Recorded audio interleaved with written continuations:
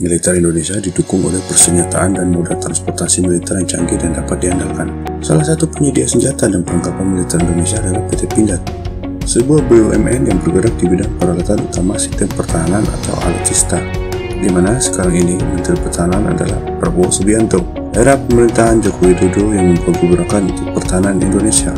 Hal ini membuat beberapa negara lain semakin ciut nyalinya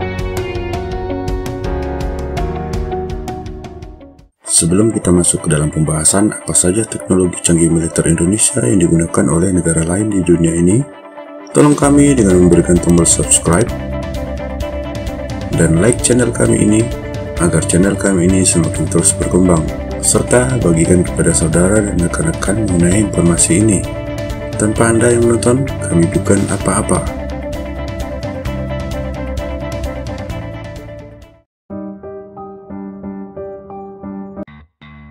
ANOA 2 6x6 PBB menggunakan ANOA untuk pertempuran berskala internasional.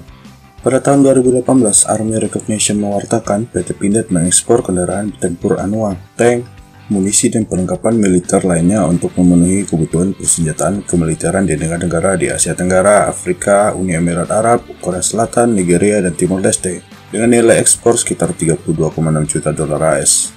Selain senjata, amunisi, dan kendaraan tempur, PT Pindad juga memproduksi perlengkapan untuk kepentingan komersil seperti alat berat, bahan peledak komersil, dan cyber security.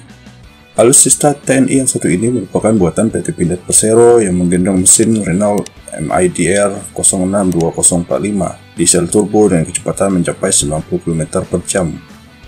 6x6 Anua memiliki seri mortar, command, amphibious, recovery, APC, armor, personnel carrier, ambulance and logistik, kendaraan lapis baja ini juga sangat diminati negara-negara lain.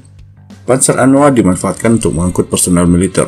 Konon kabarnya mesin Anua sudah diuji langsung oleh NATO.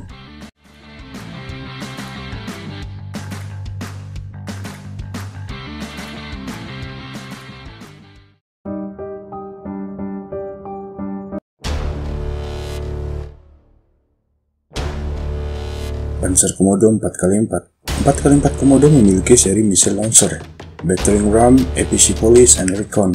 Varian kendaraan taktis Komodo yang ada didesain untuk misi pengintaian. Kendaraan ini dirancang untuk bergerak cepat dan tepat dalam setiap misinya. Dilengkapi dengan mesin diesel 215 horsepower dengan turbocharger intercooler, kendaraan ini mampu mencapai top speed 80 km per jam di jalan raya dengan daya jelajah sejauh 450 km.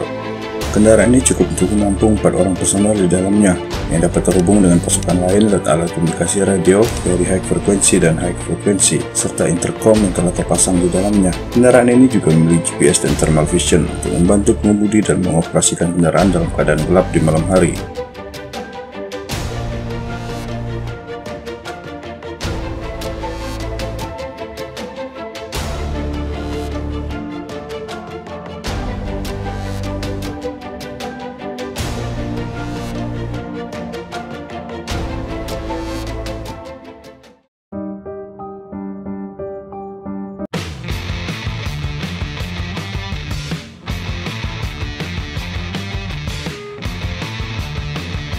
Harimau Tank Harimau diklaim memiliki kemampuan pertahanan balistik dan anti ancaman ranjau terkini.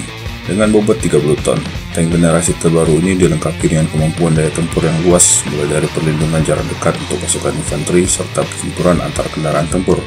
Kecepatan maksimalnya lebih daripada 70 km per jam, dapat menampung tiga kru yang terdiri dari komandan, penembak, dan pengemudi, serta memiliki senjata utama turret kaliber 105 mm yang memiliki daya hancur besar. Menurut Pindad, Tank Harimau juga dilengkapi dengan berbagai teknologi terbaru seperti sistem kewaspadaan mandiri, Hunter Killer System, perlindungan pasif atau laser warning system, battle management system, serta proteksi hingga level 5. Turret atau mencok senjata utama memiliki mekanisme autoloader dengan 12 butir peluru di turret dan 26 butir peluru cadangan di dalam hull. Di atas kubah ada semacam mesin kaliber 7,62 mm untuk daya tempur maksimum. Proyek tank harimau ini dimulai dari awal 2015 melalui kerjasama teknologi dengan Turki. Perwarupa pertama dibuat di Turki, setelah itu dilanjutkan dipindah sesuai spesifikasi TNI.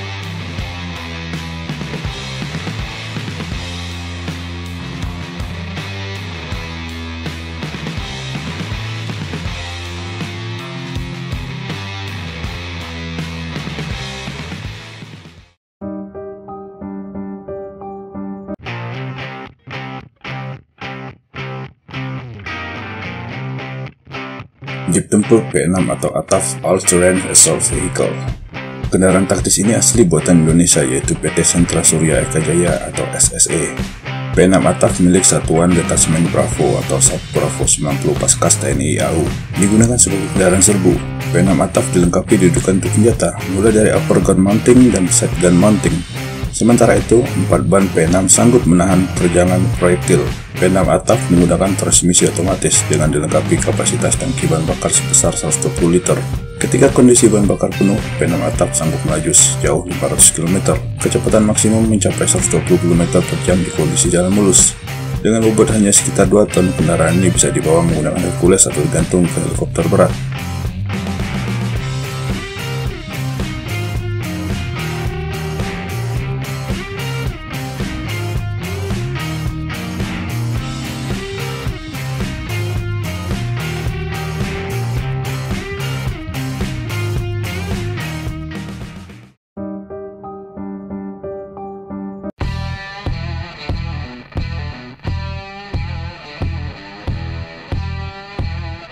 Panzer Badak Indonesia punya Panzer Badak yang lebih hebat dibandingkan Panzer Tarantula buatan Korea Selatan.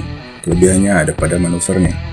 Panzer ini memiliki berat hingga 14 ton dan didukung dengan mesin diesel dari Renault, yaitu diesel inline 6 silinder turbocharger intercooler berkapasitas 10.800 cc yang mampu menghasilkan tenaga sebesar 340 horsepower.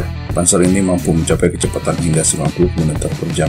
Sistem transmisi dari Panzer Badak sendiri menggunakan transmisi otomatis dan percepatan. Memiliki dimensi panjang 6 meter, lebar 2,5 meter, dan tinggi 2,9 meter. Badak Pindad memiliki kemampuan jelajah yang cukup luas sekitar 600 km. Panzer Badak juga dilengkapi independent double wishbone tanpa spring ke badak. Hal ini ditunjang dengan ban round flat 1100 R22,5 yang mampu berjalan dalam keadaan tanpa angin hingga sejauh 80 km pada kecepatan tertentu.